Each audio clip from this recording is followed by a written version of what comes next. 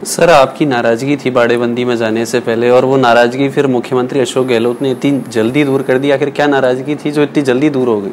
नहीं, नाराज़गी व्यक्तिगत तो ऐसी कोई नाराज़गी नहीं है। यही था कि अपना एक चवालीस गाँव की वो परियोजना है वह काफ़ी टाइम हो गया। वो बहुत धीरे स्पीड में। एक हमारे बाड़ी और सेपू बाईपास की समस्या थी। कितना जाम लगा रहता है ट्रैफ़िक की वजह कितने लोग परेशान होते हैं। जाम की स्थिति खराब है। तो उसको लेकर आई थी एक हमारे वो तैंतीस के भी था, सेवरपाली गाँव में। एक अड़तीस करोड़ की जो बाड़ी में पानी की पाइपलाइन है, वो छः टंकी बनी अभी नई। तो जैसे काम थे, वो जनता से जुड़े मुद्दे तो उनको लेकर नहीं नाराज़गी थी। बकाया कोई व्यक्तिगत नाराज़गी नहीं थी, और कोई नाराज़गी का ये मतलब नहीं था कि वो नाराज़गी को कोई अपन जगह करें कि तुम गलत जगह ना इस्तेमाल करें या दूसरी जगह करें। ऐसी नाराज़गी नाराज़गी थी कि थोड़ी सी क्या के दिमाग में बात आवे, वो काम थोड़े से स्पीड पकड़े। वो क्या कि जी अधिकारी ना, ये ये फालों में चक्कर लगाया करते हैं। आठ फरवरी के टेंडर हुए बाड़ी के जो अड़तीस करोड़ की योजना।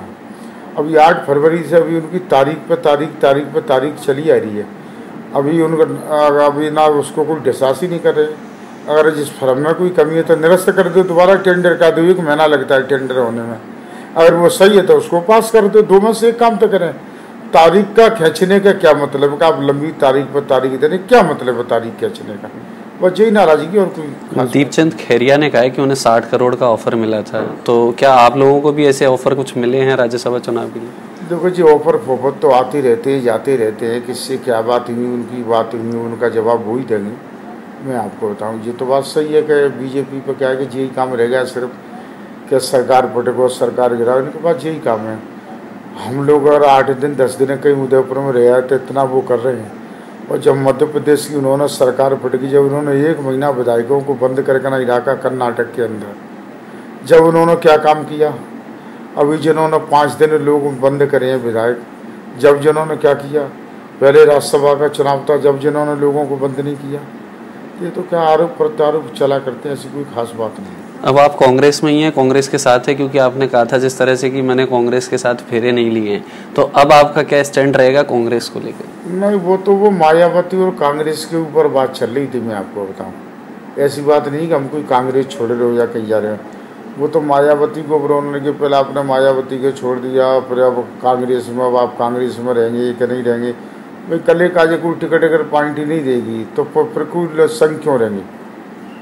भाई बीजेपी हो या कांग्रेस हो या मायावती हो या और कोई हो अगर कोई टिकट काटेगी तो आदमी तो फिर कोई दूसरी जगह दिखता है। चाहे कोई भी पार्टी हो, हर हर व्यक्ति स्वतंत्र अधिकार है।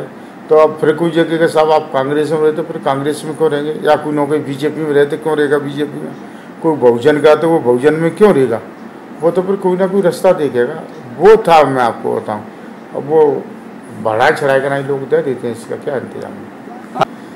सरकार भी बनेगी, हम भी जीतेंगे, जनता के काम करेंगे तो जीतेंगे, जनता है जिताने और हराने वाली, ना तो हम खुद जीतने वाले।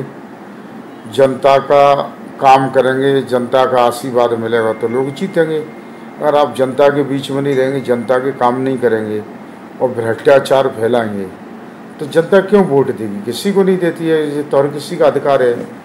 भाई जनता का अधिकार है, जनता जिसको चाहिए उसको वो राजा बनाए, वो चाहे जिसको फकीर बना दे। तो जनता की जीत होती है, कभी प्रत्याशी की जीत नहीं होती है। जनता चाहेगी वो जीतेगा। और मेरे कहने से कुछ नहीं होता है कि मैं जीतूँगा और कोई जीते। जनता का आशीर्वाद मिलेगा, वही व्यक्ति चुनाव जीतेगा जनता में अच्छा काम करेगा। बीजेपी वालों ने तो मैं यही तो कहता हूँ, मेरी यही तो उनसे बहस होती कोई जवाब ही नहीं देता है कि आप मुझे बाड़ी विधानसभा क्षेत्र के अंदर एक कोई काम बता दें। वो इसका कोई जवाब ही नहीं देते कि उन्होंने कौन सा विकास कराया, कौन सा काम कराया। और हम लोगों से पूछें, वो आगे ना बहस करें तो वो बहस क्यों नहीं करते? ये बहस का मुद्दा है, इस पर बहस करनी चाहिए उनको विकास के ऊपर। तो वो आते ही नहीं, इस चीज़ का कोई जवाब ही नहीं देते। तो उनको आना चाहिए कि उनकी सरकार रही। तो आप आया करो, आप क्यों नहीं बताते? बताए कि हमने अपनी सरकार में ये काम कराया या हमारे संग बैठे तो हमारा काम वो दुनिया को दिख रहा है कि क्या विकास कराया